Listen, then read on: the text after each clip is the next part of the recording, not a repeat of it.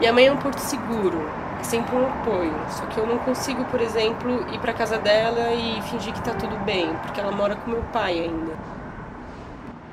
Eu me sinto mal por existir do lado dele, eu carrego uma culpa.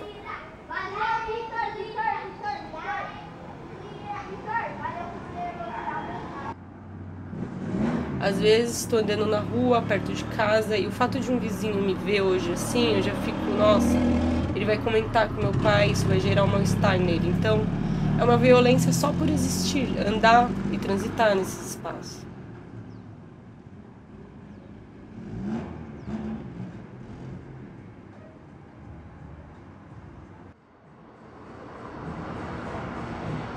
A primeira vez que eu comecei a apresentar mais externamente essa transição, a primeira pergunta do meu pai foi: Você está fazendo o programa?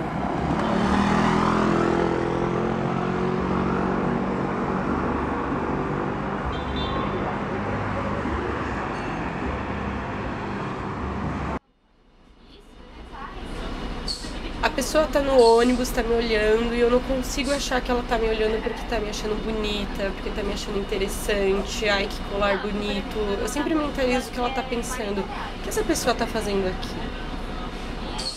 Eu acho que tem muito essa falsa ideia de que nas centralidades você tem uma emancipação das pessoas muito maior. Na verdade, o que eu acho que tem é essa ideia maior de que determinada situação é uma discriminação.